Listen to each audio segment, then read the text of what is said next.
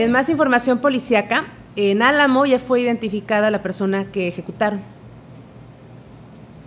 Como, como José Leonardo Espinosa fue identificado eh, la persona que ejecutaron en la colonia heroica Veracruz durante la tarde de, ayer jueves. Eh, esta persona se encontraba en el interior del negocio conocido como Audimanía y fue asesinado de varios disparos en el cuerpo, situación que causó la conmoción en el municipio. Los hechos se presentaron alrededor de las 6.40 de la tarde, cuando se escucharon varias detonaciones de arma de fuego en la calle Guadalajara de la colonia antes mencionada, como referencia a la altura del depósito de la Coca-Cola por el llamado Mercado del Barzón. Al lugar se trasladaron elementos de la Guardia Nacional, Fuerza Civil, Policía Estatal, Ejército Mexicano, así como una ambulancia de emergencia, quien informaron que al interior del establecimiento se hallaba un hombre, el cual presentaba varios impactos por arma de fuego y quien ya no, ya no tenía signos vitales. El ahora occiso fue identificado como José Leonardo Hernández, de 36 años,